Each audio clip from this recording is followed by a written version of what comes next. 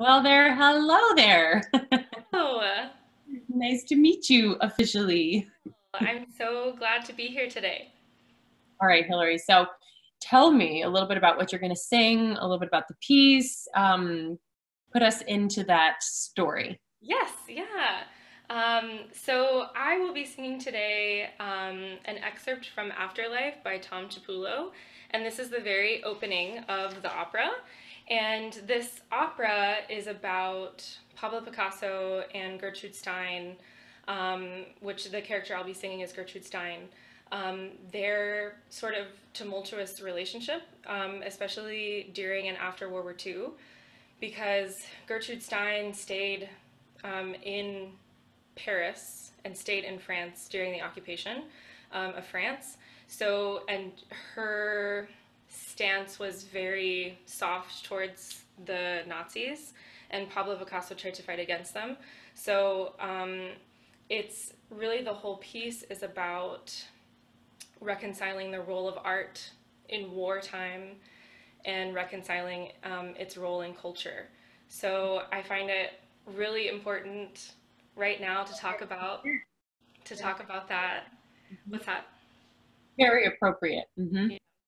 So I'm just I'm kind of inspired by this piece right now, um, and figuring out how to reconcile my role in the world right now as well.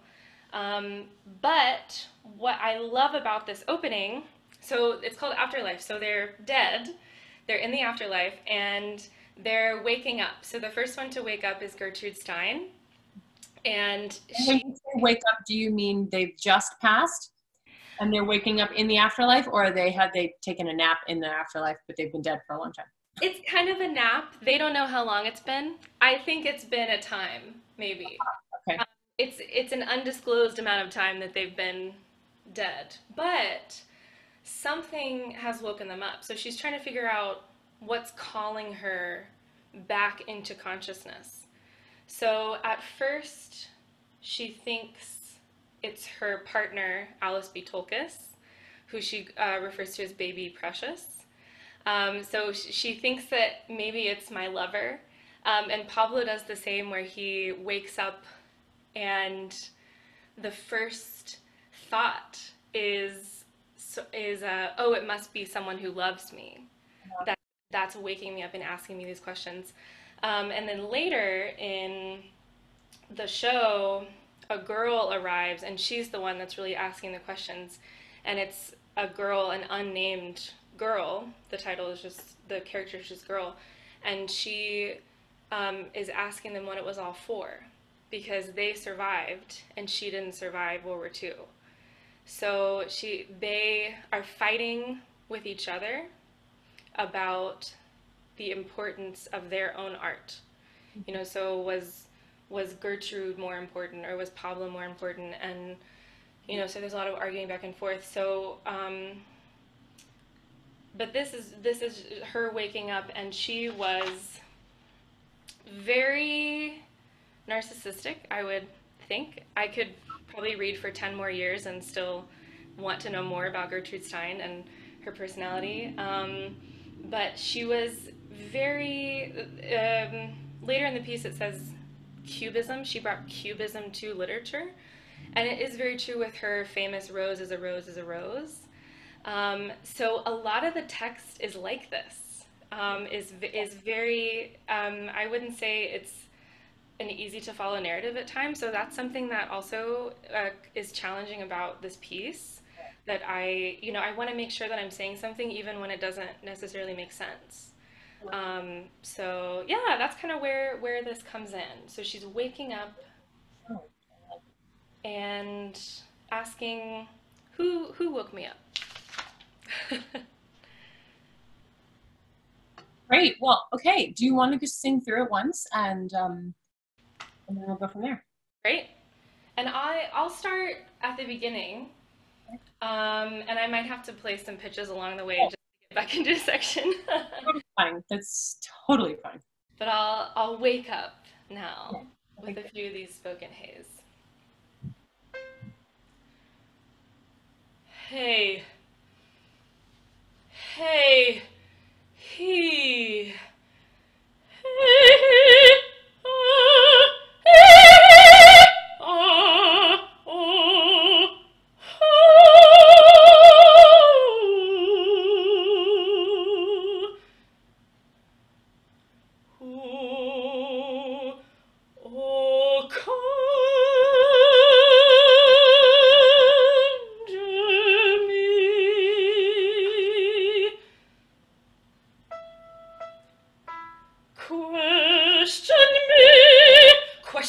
Question me, conjure me.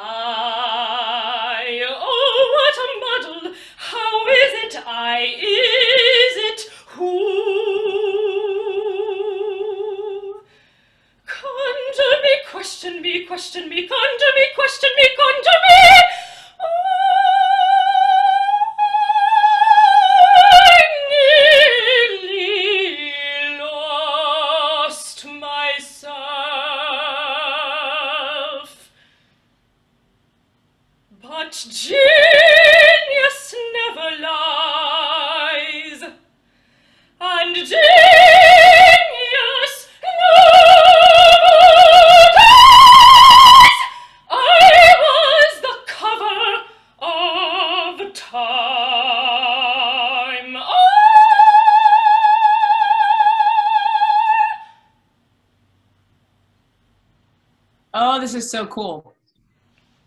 I love it. Very, very cool. Okay, on first listening, because I've never heard this before, um, and just kind of listening, and I love all the things that you were saying about her that you think she's rather narcissistic and has all these things. Yeah, there's like an overwhelming sense of confidence, right, that comes from her, except there's also this, because of what's happening to her in the moment, there's also an overwhelming sense of confusion Yes. right? Which is super interesting. Um, it's almost as if she were coming back into herself as she's waking up. So it's like waking up in a body that you that you is it when you wake up and you don't know who you are, where you are, what's going on, and then as you're waking up more and more, you're starting to come back into yourself and you're starting to remember who you are, what you're all about, what you did, who loved you, who hated you, right? It's like, it's almost like, I guess, like an amnesia, a situation of amnesia, right? Where you start remembering things, but much faster, right? It has that quality to it, right? And it's sort of manic in a way. Yes, I th- it, it does feel very manic, and um, there's a lot of I. Once she gets past, hey, who is who's waking me up? Well, I, I guess her first thought then is is is Alice, is baby Precious. That's her next first thought. But then it's all I. I was this. I was the cover of time. Is her big line that she repeats throughout. Yeah. Mm-hmm. I think so. There's a lot of I. So what I'm kind of hearing, or at least what I'm, or I'm thinking, I just ideas, especially at first blush, that you can definitely use the repetitions of the words, and you really just have to find, I think, in your mind, different thoughts that she's having, just like you said, right? Like you, you know, she says, "Sound of a sigh." I. I think those two things could be completely separate, potentially, or they could be they could be connected. She could be saying she's she's now hearing also that she is hearing her voice. Mm. right? Versus just hearing it in the inside she's hearing it from the outside. So maybe it's like sound of a sigh. I that was my voice. Right? Now and, and in that moment of like recognizing herself through her the sounds her body makes then she says i was the cover of time And that's the first time she says I in this whole thing. So maybe you can use that in that moment more of her all of a sudden with that sound of a sigh. It's like she's recognized herself really, truly. Mhm. And now it's like, I, I, ooh, ooh, that's me, that's me, right? I, I was a cover of time, I. and then that's what she and then she and then you see a part of her the other part of her where she because i love the dynamics are really super helpful it seems but all then she goes everyone loved me. Right? It's just all of a sudden and it comes out of nothing. I i i see so i have that moment of like i that was me. I was on the cover of time. I was and in that silence what comes flooding back to you is that everybody loved you. So see that and like feel it on your face before you even say everybody loved me. There's that right? pause there. Yes. And and I, you know, is that is that quiet moment, you know, is she haha, everybody loved me or is it uh, I don't know. It's all it's with this air of confidence. There's so many different attitudes with confidence, you know. Yeah, for sure, right? Like she could do so I mean, it's interesting what they've written even before with the whole time and I. Says spoken, not loud, but emphatic. It's like time. Time. Time. I was on the cover of Time.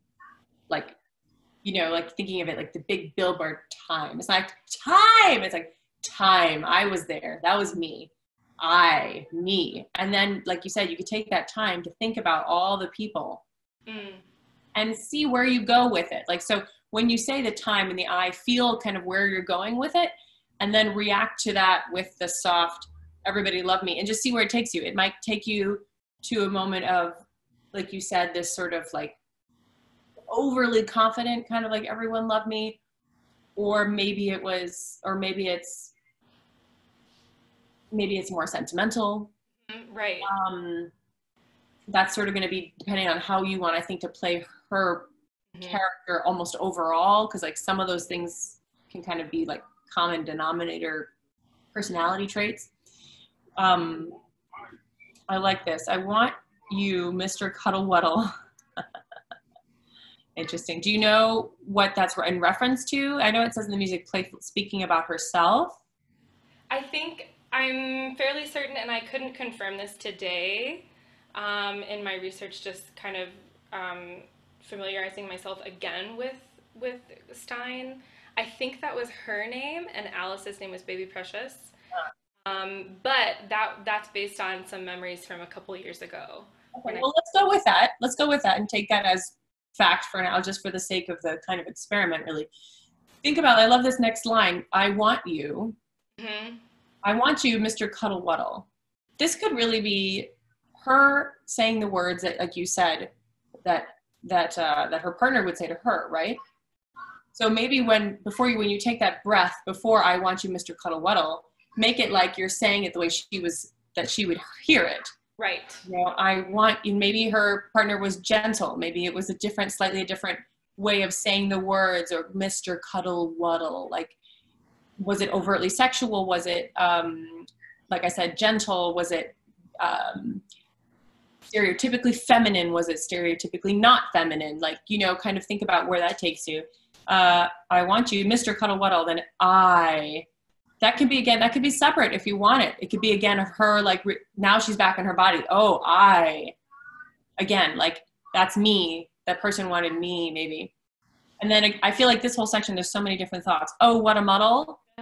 Like that's back to this, she's waking up thing, right? So like, oh, what a muddle. And then I love this. How is it I? Is it who? How do you how do you um how do you parse that out? I have ideas, but how do you how do you think about it?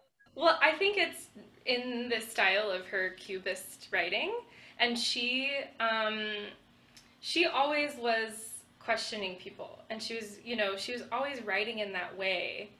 Um, so I see here she's um, critical of herself. How is it I? You know, how, how is the question I? And famously, um, on her deathbed, after sur- she had surgery and her partner Alice was sitting there with her, she said, What is the answer? And Alice said, or said nothing. And in the silence, then Gertrude Stein says, Well, then there is no question. So I think that's a lot of what they're pulling in here is maybe those last words of hers. Um, so I think she's being critical maybe of herself, of, you know, why am I waking, why is this the first thought maybe? maybe Mhm. maybe critical is too harsh of a word, but just analyzing um, why she is Curious. uh, Yeah. How is it I? Is it who? Right.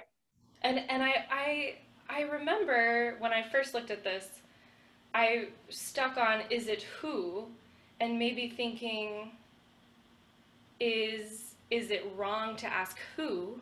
Should we be asking why or what? Hmm. Interesting. Interesting. How is it I? Is it?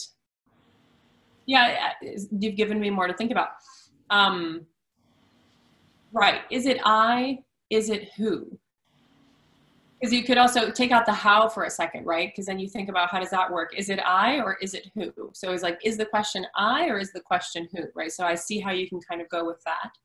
And then how is it I makes me think of um, how how is it that I am the one that's waking up here? How is it that I am I am giving given this call it an opportunity? That's the way I would think about it, but maybe not her. But how is it that I'm here, right?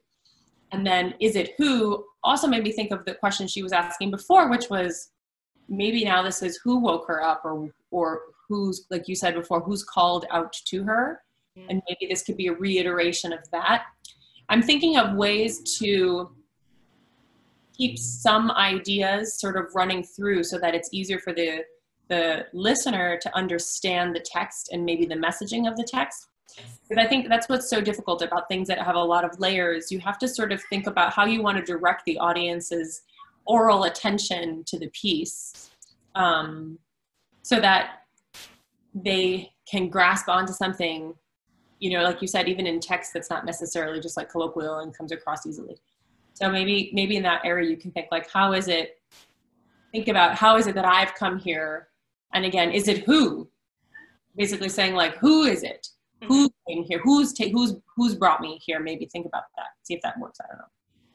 I like this conjure me question me question me conjure me question me conjure me that's interesting it says or spoken above it so what do you think about that whole little section there Um, uh, I don't know about spoken. I've never done it spoken. Um, it. I, I think uh, with the pitches, there is, and it's accelerando. You know, there's this agitation. Uh, um, so it can definitely be spoken because you then there's more um, pitch options. You know, I don't have to stick with this CE. uh-huh Um, I don't know if that could be interesting. I could try it. Ooh, Yeah. you could you could try you know you could start it in the sort of spoken area and then let it evolve back into the singing right but in a real like seamless kind of fashion conjure me question me question me conjure me you know kind of that kind of thing that'd be fun um what else? I nearly lost myself. Okay.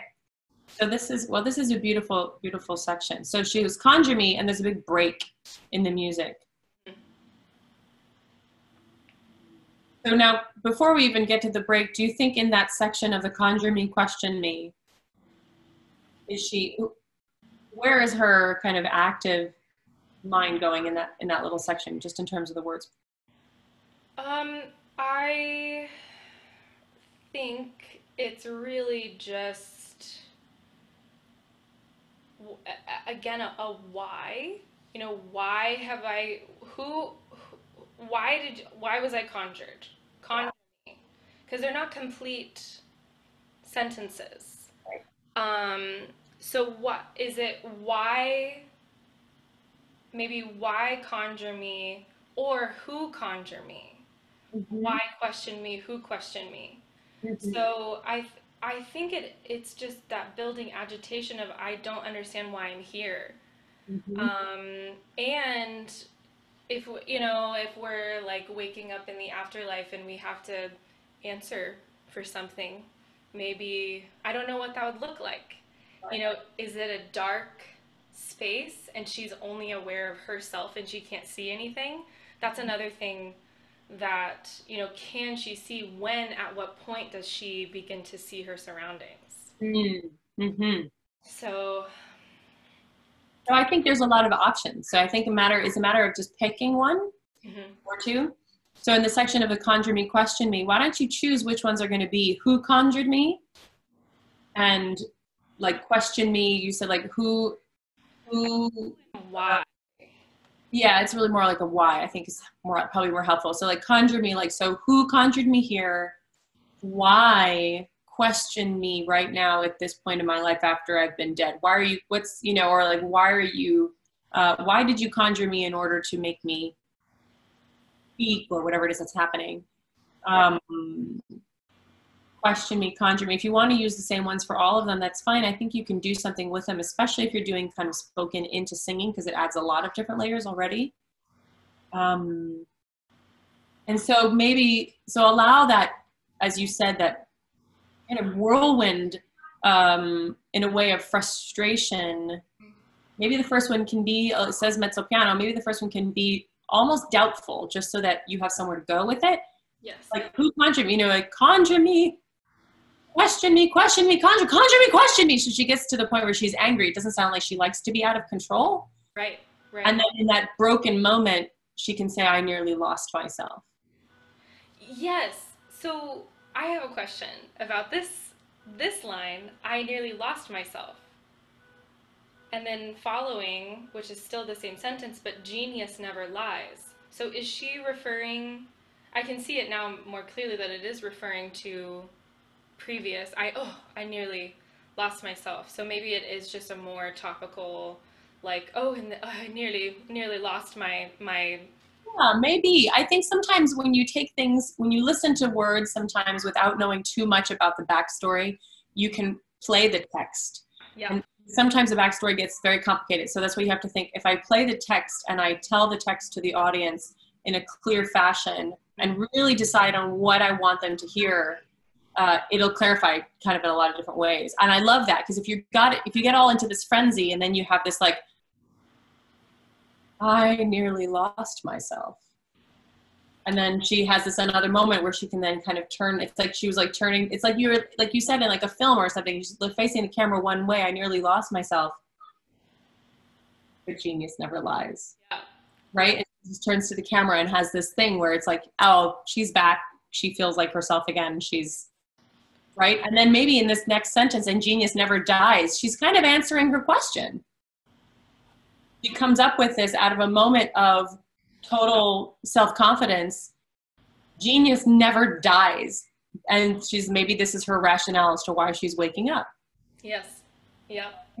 and then she goes i was on the cover of time and so now instead of this being even like a pride point like it was the first time maybe this is more Mm. Well because is, isn't it obvious? Isn't it obvious? Because I, of course genius never dies. And of course i'm waking up here. Of course it's me because i was on the cover of time. I. Right? It's so interesting. Yeah.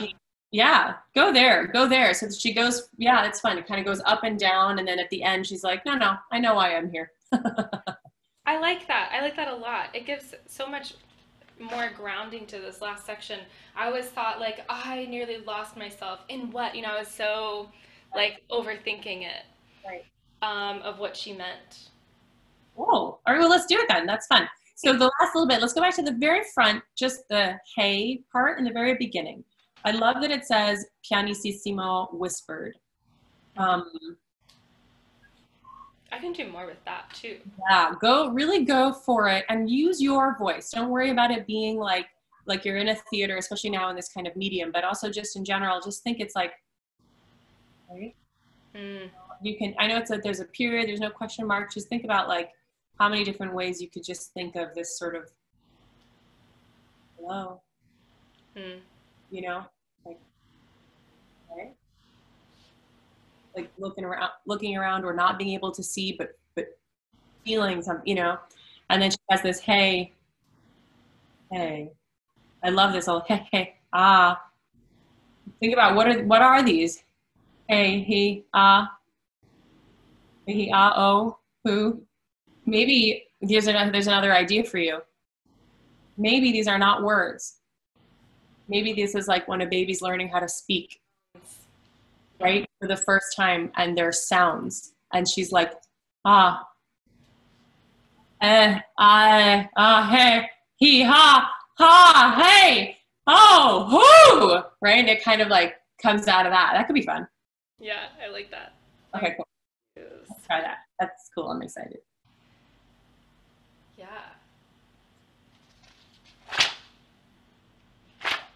Okay. And with that all in mind. Take two, Gertrude. okay, let's do. Okay, here's a C. Oop, too high. Let's not sing that C. Okay.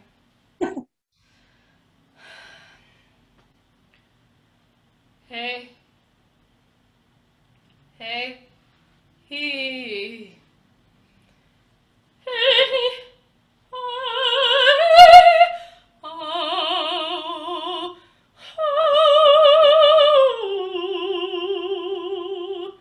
Cool. Can you do those second ones just one more time? The ones that, that said pianissimo still, even softer, I think. Yeah. Really, don't even worry too much maybe about the singing yet. Because you have those lows. Hey, he. Hey, Uh, oh, oh, you know, like so your voice gets also more present as it goes along. yes. Ooh, hard to risk that not singing those notes. Ooh. Oh, I know, I know. We got to be imperfect. yes. Oh, I know the pain. The classical music world has done a lot for our perfect, you know, sensibilities, but we got to break that mold. We got to go there. Absolutely. I think I have the C in my head, but I'm always. Oh, you can check it over there. Like, especially with this kind of music. I. Ah, Low pitch pipe. okay. hey. Hey. He. Hey. Oh. Hey. Oh. Oh. Who, oh, conjure me.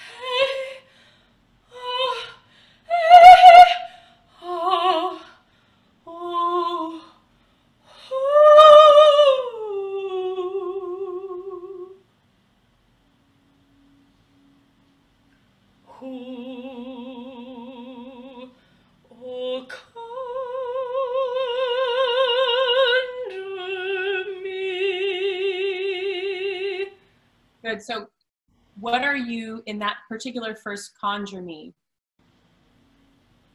Are you feeling just curious about your surroundings? Are you scared at all? Are you like, I that is curious because I usually go blank there. okay, I think um, I don't think she's scared. Okay. Um, think she's so. May, you know what? Maybe that is would be important to show. Maybe that she is scared because it would contrast with the confidence when she finally starts talking about herself. yeah, absolutely. Why not? So, why don't you maybe the, ah, oh, Yeah. who, maybe that last who, since it says forte piano, come out a little more forte in the beginning. So it's really like you've really gone from that lows to the like pianissimo, hey, hey, ah, hey, hey, ah, oh. Do you realize she goes through the vowels? Because she goes ah, eh, ah, oh, ooh, right? Basically, she almost goes through all of them. Ah, eh, he, ah, oh, ooh. So she's kind of, it's like practicing. I didn't notice that before. I'm a bad singer. I didn't notice the vowels. I only noticed it right now. I was like, wait, ah, eh, ye, ah, oh, ooh, oh, cool, okay. Look at that. So I- yeah, it's like this. She's she's coming into herself vocally. I, whoo, right? And then now it's who. So maybe this first who is actually the word who, whereas the first one was just the sound.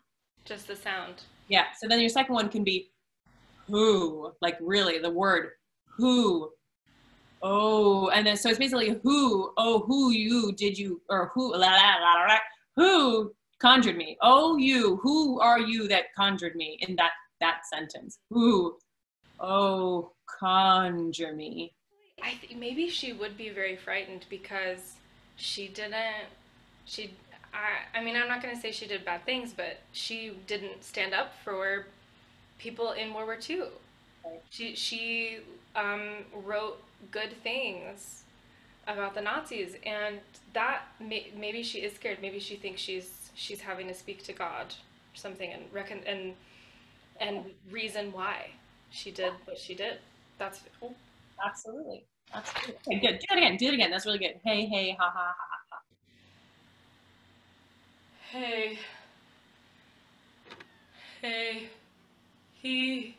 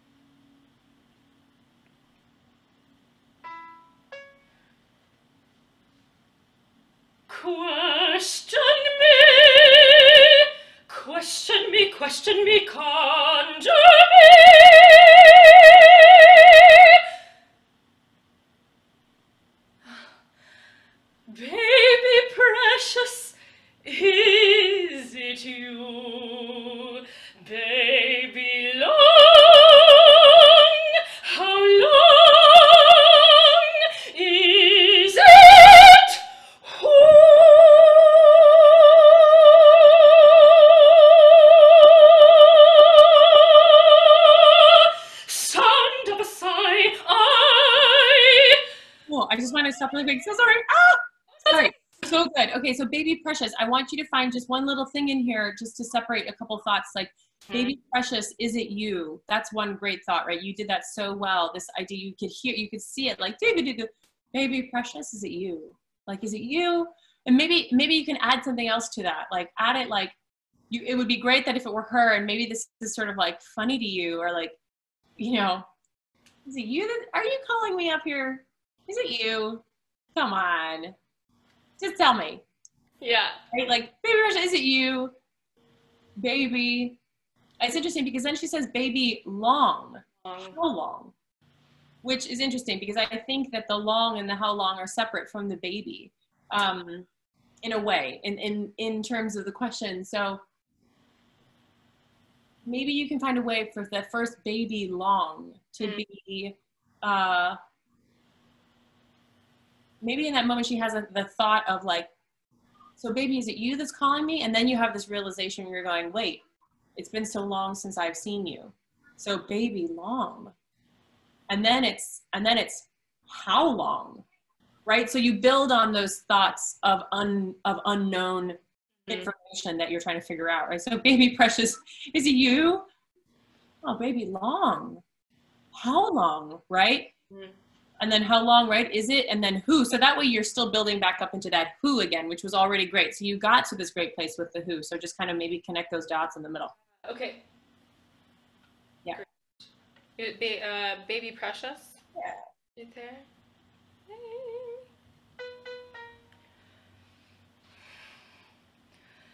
Baby precious, is it you? Baby long,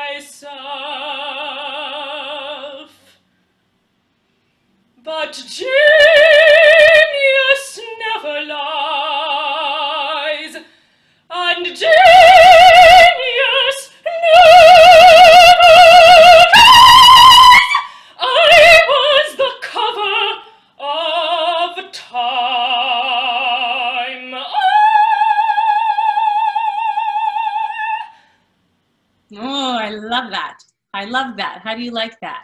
I really like it. It feels really specific. Mm. And I, I feel like I'm doing more than just saying this cubist Yeah. text. How long? Who? Conjure me. Um, real. It becomes human, right? You put in feelings that you can identify with, and that you know that you can you can transmit easily, right? Because you really identify with them. There was one little thing I wanted you to do. I think you could make it a little bit more of a shift. You have your I nearly lost myself, and then in this breath, maybe between that idea, like stay in the land of you nearly lost yourself, like for real, from the conjure me, conjure me, ah, I nearly lost myself, right? And then as you're coming down from that, you're literally coming down from that. yeah. Right. And I nearly, okay, lost myself. I didn't lose myself. I know I didn't lose myself. And like you said, have a different focus for this moment where now she's coming to this conclusion. Mhm. But genius never lies. It's like maybe this is something somebody else said to her at some point.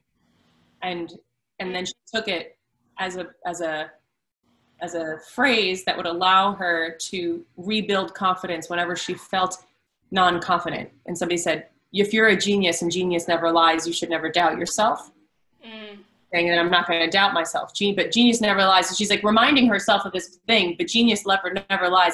And therefore I am a genius. And I know that. And the reason I'm here is because genius never dies. Right? yeah. So that. This is really the moment she's building herself back up. yeah. Yeah. Just Do you want to try the conjure me, question me, question me, conjure me into that I nearly lost myself? yeah. And then lies, genius yeah. And then, oh, that last I was the cover of time. I think that should just be like the declaration of why you're a genius, maybe. You know, not that they're necessarily really comparable things, but like, but to her, just say, like, I was the one on the cover of time, you know? So it's not angry or anything. It's just, it's a simply stated fact that I'm genius. I, you know, genius never dies. I was on the cover of time Mm, plain and simple.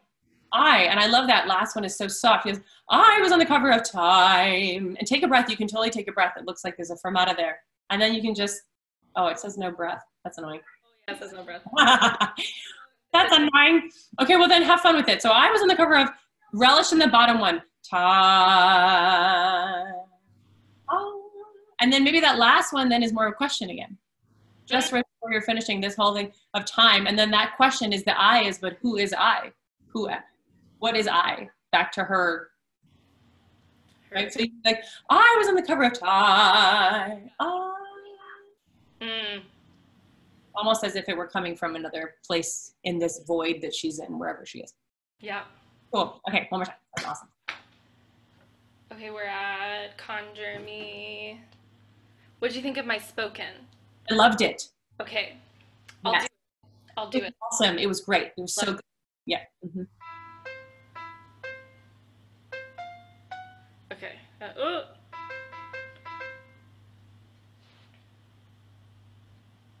Conjure me, question me, question me, conjure me, question me, conjure me!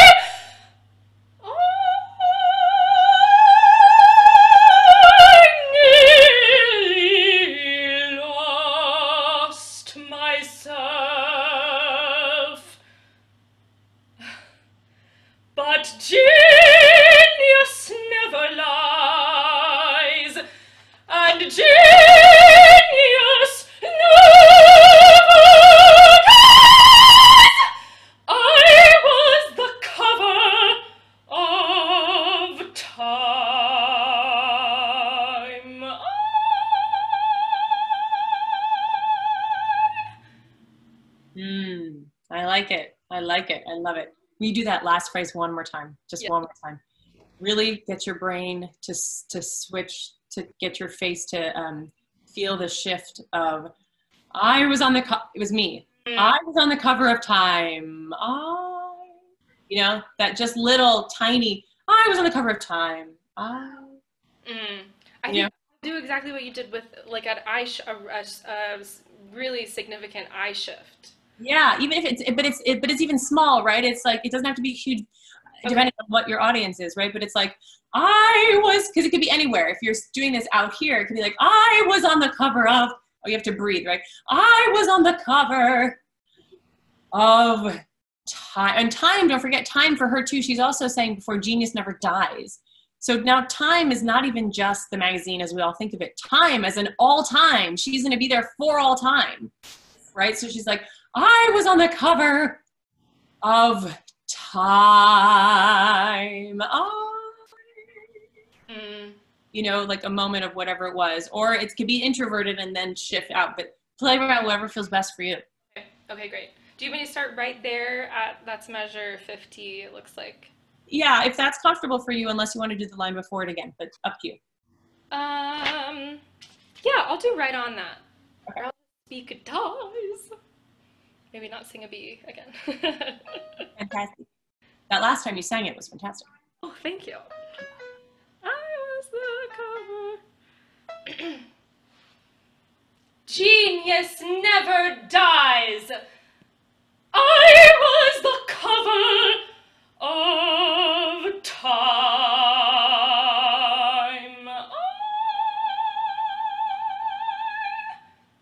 Yeah, I kind of love that. I tried to go like like I was like, who am I? Yeah. Last one. Yeah. And period there. You know, there's I was cover of time, period. I, period. Mm-hmm. It's a complete thought for her. Mm-hmm. I. Yeah, and you know, and as you do it, you could decide later on that you want it in the same vein as the first concept, because it could be more of like I was in the cover of Time.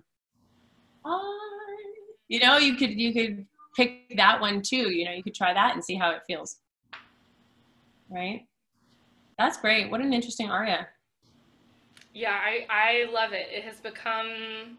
I sang the role two years ago um, with a project at UNT, um, and we did all of the works of Tom Cipullo, um, like as a program. It was it was really cool, and and since then, it has become sort of my my go to English. you Yeah. know? Love I I love it. I love it. That's terrific. That's really great. I'd love to hear it with the accompaniment too. That's so cool. Oh, I'm so glad we did this. Thank you so much. Thank you. It's been such a pleasure, and I just have loved diving into this with you. It's been so exciting. Oh, that's so fun. I'm so glad. This is an exciting piece. It really kind of lends itself for a lot of really good thinking. And um, it's kind of great to actually have such a disjunct piece in a way. It's not disjunct, but like in that sense, right? Because you really have to.